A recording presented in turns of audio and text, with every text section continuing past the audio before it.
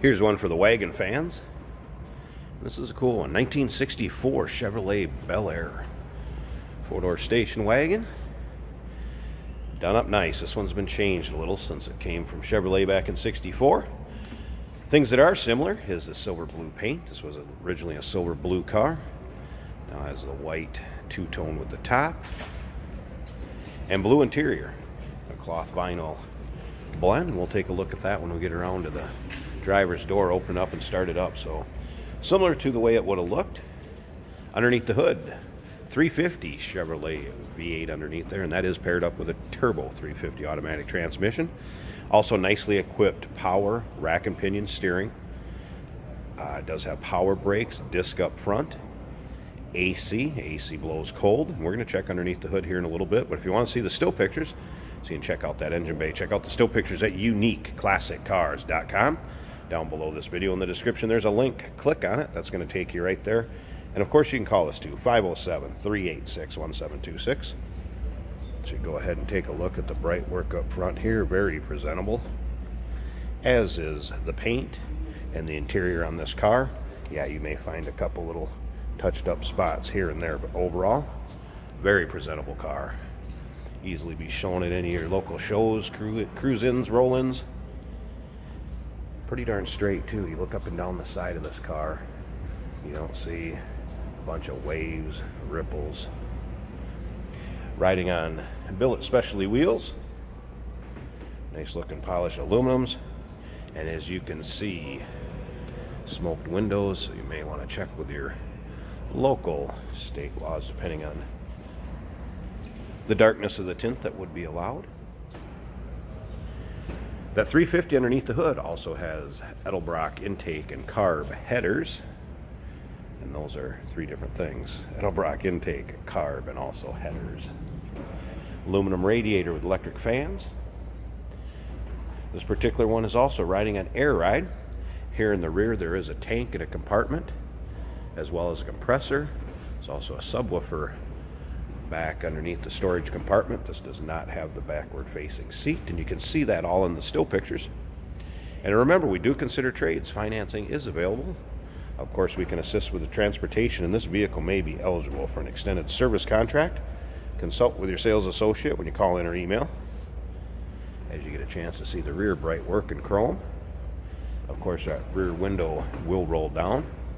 And again, there is pictures of all of that at Unique, especially Classics website, which is unique, uniqueclassiccars.com. Just click on the link down below this video in the description. It's going to take you right there. Let's go ahead and look up and down the driver's side of this. I'll show you I notice there's just a couple little, and if I can even get them to show up in this video, but again, you can see it straight, not full of dings, nicks, or scratches. I'm going to show you one at the rear here. I did notice kind of by the gas cap right, right there, small one may be able to PDR that out. And again, not real noticeable. Just trying to give you a fair shake how this car looks. Go ahead and check out the interior here. Nice looking interior. Like I said, we have the kind of cloth and vinyl blend, blue, which this car would have been originally. Bent seat up front. Of course, same thing in the rear. Does have belts, front and rear. And you can see these all in the still pictures, FYI.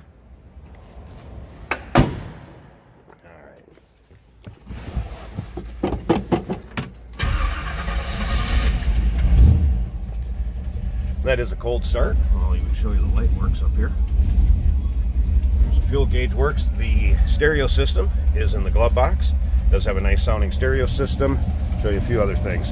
So you have your gauge right here for your air ride. Right here is for the subwoofer. Of course, uh, controlling bass, what have you. Uh, aftermarket AC unit below the dash that does blow cold, FYI.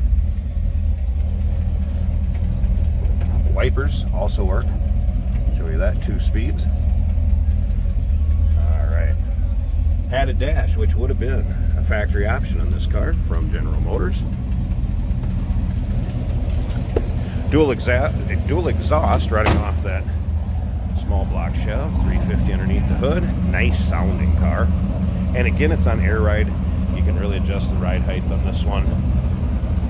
Suited how you would like to have it I have it pictured up a couple different ways. I have it lowered some. I also have a little bit of rake to it. You'll be able to check that out in the still pictures. For right now, though, let's pop that hood and check underneath the hood and see how that engine bay looks. Hey, did you know that this car qualifies for an extended warranty? It's just like the one you get at your new car dealership, except it covers your classic car instead. covers all the major components like engine, transmission, drivetrain, and you can get coverage up to 10 years.